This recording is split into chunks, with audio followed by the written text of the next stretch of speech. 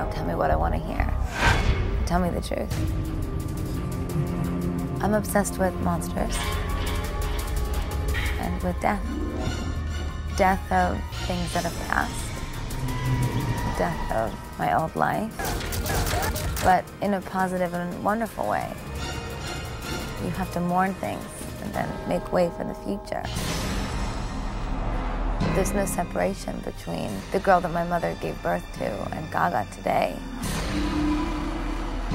You resign yourself to your work and you fully 100% become it.